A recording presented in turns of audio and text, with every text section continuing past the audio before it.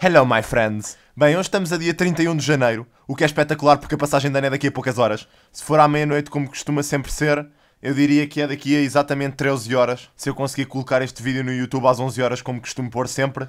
E se este vídeo por acaso estiver mesmo publicado, quer dizer que eu sobrevivi até aqui, portanto, dê-me os parabéns, pessoal. Portanto, neste momento eu devo estar sozinho e abandonado, a sentir muito frio ah, e gostava que vocês comentassem no vídeo com as vossas frases calorosas do costume, que é para eu ir lendo isto no tablet enquanto cá estiver. E entretanto tenho-vos a dizer que o vídeo de hoje é a minha retrospectiva de 2015, caso vocês façam parte daqueles 5,2% de analfabetos em Portugal e não consigam ler o título do vídeo, o que é altamente improvável. Portanto, no vídeo de hoje eu ia fazer um top 10 momentos de 2015, mas pensei melhor e decidi fazer uma cena deste género, porquê? Porque eu não considero que tenham havido top 10 momentos. Eu não posso categorizar os momentos por, por grau de importância, estão a ver? Pá, acho que foram todos no geral bastante importantes para mim e gostava de partilhá-los com vocês, caso vocês estejam interessados nisso. É óbvio que estão, senão vocês não estavam a ver isto, suas putinhas. Estou a brincar. Bem, então é assim. Para vos categorizar os melhores momentos de 2015, eu tenho que dividir isto em duas partes. Portanto, existe a minha vida da internet e existe a minha vida normal, ok? Portanto, vou-vos tentar dividir isto, que é para vos explicar melhor o que é que foi mais importante em cada uma delas. Bem, começando pela vida da internet. É assim, este ano foi muito bom e vou-vos explicar porquê. Eu comecei a streamar em 2014, como vocês sabem. Uh, foi no verão de 2014, portanto já foi uh, na parte final de 2014. Uh, e por isso 2015 foi um ano importante para eu iniciar, por assim dizer, a cena de streaming.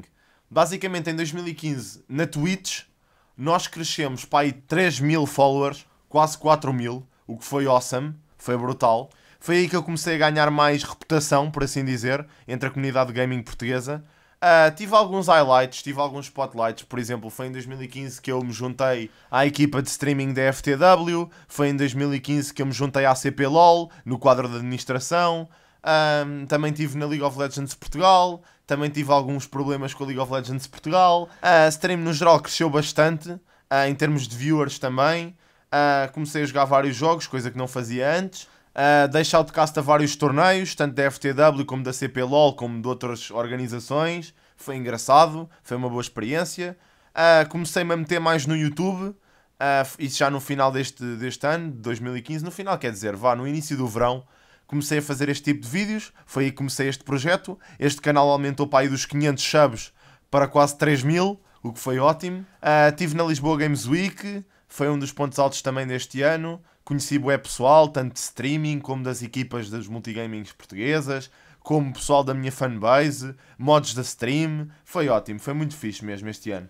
Em termos de experiência de jogo, foi basicamente igual. Foi um ano um bocado meh em termos de gameplay, porque os jogos ficaram todos um bocado merdosos. Pelo menos os que eu jogava, tipo League of Legends e outros jogos. Foi uma season em que é, não me chamou muito a atenção. Uh, mas pronto, houve outros jogos que complementaram um bocado isso. Houve o lançamento da expansão do Guild Wars também. Confesso que estava um bocado à espera de mais. Pronto, e foi isto. Em termos da minha vida pessoal, foi um ano bastante bom. E isso tenho que vos dizer que foi. Foi mesmo um ano bastante bom para eu perceber algumas coisas na minha vida. Uh, foi um ano bué bom para eu ser eu. Foi um ano bué bom para eu ser eu próprio. Digo-vos que é capaz de ter sido o ano em que eu fui mais eu uh, na minha vida. Foi este. Na faculdade as coisas correram otimamente, nós estávamos a mandar em tudo. Foi um ano em que basicamente tive mais com os meus amigos, muito mais com os meus amigos, uh, do que tinha estado no ano anterior. Uh, voltámos a estar todos juntos, uh, percebi bastante quem é que estava comigo e quem é que não estava. Foi um ano para ganhar, para conhecer pessoas novas, agora nos finais também. foi o ano em que me licenciei, também é importante dizer isso. acabei o meu curso. foi o ano em que comecei o mestrado. Um, conheci muito pessoal em mestrado, uh, reencontrei-me com outro pessoal, por exemplo, o meu padrinho de faculdade, voltei a ter aulas com ele, foi muito fixe. Um, conheci pessoal estrangeiro também, montes de pessoal de Erasmus. Foi um bom ano para conhecer pessoal e para eu me encontrar a mim também. Um, em termos de família, correu tudo normal, foi tudo igual. A minha bisavó fez 104 anos, esperemos que este ano faça 105, o que é brutal. Foi o ano em que comecei a receber algumas propostas de estágios e de cenas assim. Por exemplo, recebi uma proposta de estágio na Renascença, o que cordialmente recusei por causa do mestrado e também porque queria aproveitar o verão, porque sabia perfeitamente que este ia ser o meu último verão como deve de ser. Posso-vos dizer que foi um ano em que finalmente comecei a pensar que vou ter que começar a levar uma vida adulta. Ou seja, já não vou ter que ser aquele miúdo que ignorava os problemas todos. Neste momento vou ter que começar a enfrentar as coisas como deve de ser. Uh, e a cena do trabalho vai ser uma coisa com que eu me vou ter que preocupar muito brevemente. Uh, espero que isso não afete aqui a prestação no YouTube. Mas de certeza que não vou parar de fazer estes vídeos, portanto vocês não têm que se preocupar com nada. Ainda em termos de família, foi um ano bastante bom porque me aproximei bastante da minha irmã.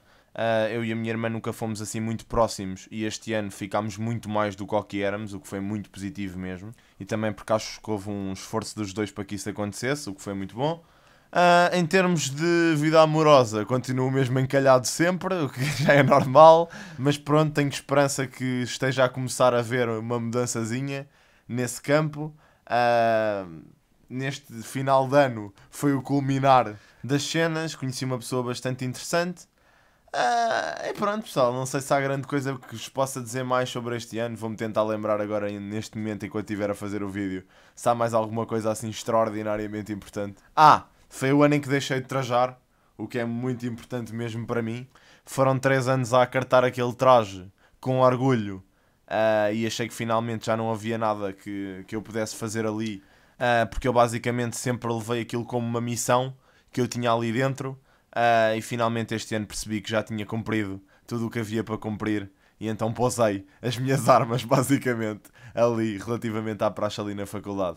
E acho que as coisas correram muito bem, pelo menos até agora. Uh, relativamente ao mundo e não a mim, 2015 foi um ano de muito stress. Uh, a crise agravou-se um bocadinho. Houve aquele problema dos refugiados também. Uh, isso alargou-se a uma escala um bocado maior, um bocado a favor. Houve alguns conflitos, como as coisas na Crimeia e a guerra na Síria, a agravar-se também um bocado. depois a culminar tudo na cena da, da ISIS, agora a entrar pela Europa adentro. E pronto, pessoal, 2015 foi um ano de atiamento da guerra mundial, se querem a minha opinião, e acho que o pessoal agora devia aproveitar 2016 ao máximo, porque não sei como é que os tempos próximos vão ser. Uh, relativamente aos meus planos para 2016, Uh, basicamente gostava de, bem, pelo menos despachar tudo o que tenho para despachar no mestrado este ano. Uh, gostava que o canal crescesse até aos 10 mil subs. Sei que vai ser um bocado difícil, vai ser uma estrada um bocado longa e acidentada, mas acho que nós todos juntos conseguimos fazer isso. Portanto, yeah, se tiver o vosso apoio, uh, gostava muito que isso acontecesse. Uh, em termos da minha vida pessoal, pá, não sei se há grande coisa que eu possa. Os meus, gostava de ter os meus amigos e a minha família exatamente como os tenho neste momento e gostava que houvesse uma mudança uh, um bocado radical na minha vida, entre aspas, amorosa, porque de resto não há grande coisa que eu possa pedir mais. No geral, acho que as coisas estão todas bem uh, neste momento, portanto, queria pedir que isso se mantivesse. Uh, entretanto, pá, queria-vos desejar um excelente 2016. Se entretanto não publicar mais nada na minha página de Facebook ou alguma coisa do género, uh, espero que vocês aproveitem. Espero que vocês sejam felizes neste ano. Que 2016 vos traga tudo o que vocês querem. E pronto, pessoal, e é isto. Não tenho grande coisa para vos dizer mais. Sabem que me têm aqui como sempre. Qualquer coisa que precisem podem me pedir na mesma. Eu sei que muda o ano, mas a pessoa está cá na mesma. E pronto, é isto, basicamente. Obrigadão por verem o vídeo de hoje, pessoal. Se gostarem, subscrevam. Se gostarem, metam um gosto. Se gostarem, sigam-me nas redes sociais e pronto. Uh, eu estou a planear fazer um little vlog da minha passagem de ano. Uh, não sei se vai ser possível ou não. Devo estar a gravar. Se conseguir, gravo enquanto cá estiver. E depois publico-vos o vídeo, provavelmente no dia 2. Portanto, enjoy, guys. Espero que estejam a aproveitar. Espero que tenham uma grande passagem de ano. Queria sugerir que vocês tirassem selfies e publicassem no mural da minha página de Facebook com as vossas PDAs e como é que estão a ser, que ia ser excelente, ia ser grande iniciativa. E pronto, pessoal, vai ao vídeo de hoje. Portem-se bem e vejo-se em 2016, bitches.